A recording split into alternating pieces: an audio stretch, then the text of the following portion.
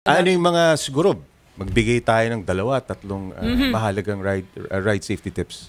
Sige, ah, para sa akin pinakamahalaga yung body language tsaka yung sign language para sa akin ha. Kasi nagwo-work sa akin yun eh. Okay, Hmm. okay.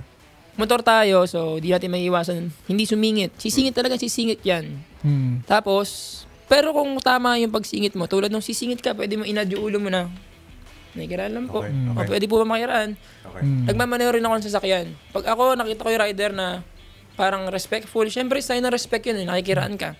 Traffic, isipin nyo, pila yan. Hmm. May kiraan ka lang. Wala naman mawawala sa'yo. Di ka kilala, naka-helmet ka naman eh. Mm. Iba pala isang bayo ka riding tips. Pag nagmumotor kayo, iwanan yung ego nyo sa bahay. Imagine niyo talaga. Mahalaga yan. No? Imagine niyo Oo, talaga. oo. Di ba po, naka-helmet po kayo. Hindi naman Okay. po kayo nakikilala niyan eh. Tama, tama. oo. So, imagine niyo pag nasa kalsada kayo, isa kayo neutral na tao, hindi kayo nakikilala. Depende sa movement nyo, depende sa galaw nyo, tsaka kayo i-judge niyan. Ganda no, no? Ganda no.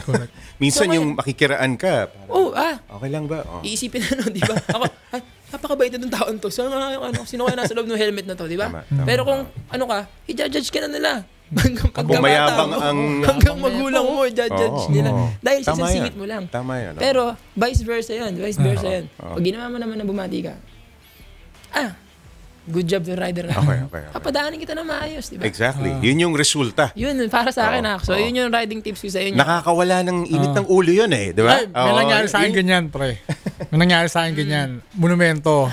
So, traffic. Sumisingit ako. Oh. Ah, nasa, ano ako, tamang side ako.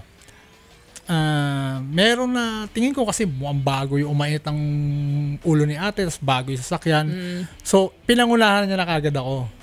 Ah, nandun yung galit siya sa akin. mm, Wala pa man ako sa, baka daw masagi ko yung side mirror niya.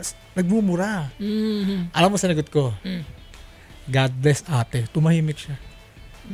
Diba? Oh, ganun lang. Naman Kasi pag sinabayan mo siya, lalong lalaki. Mm, basic yan. Hindi nagiging, hindi nakakasagot ng problema yung isa pang problema. Correct. Di ba? Pinagmumulan ng di pagkakaunawaan yan eh, sa kalye. Lahat na daan sa mga matinong usapan. Feeling ko ah, sa akin, most of the time, hindi naman lagi nag-work, pero try nyo pa rin pala. Oo. Daan nyo sa mabuti Ikaw natural na sa'yo yun, automatic yun. Ganun Oo, ginagawa. yan. Okay. Pinapractice ko din yan. May mga time na nagbe-burst pa din ako. Very nice, Hindi mo mapipigilan yan. Oo. Pero, minamaster yan. Sa buhay, kayo nakasama Gandang yan. tip yun. Gandang tip. Kasama Okay. yan. Ah, Last na tips. Okay, okay.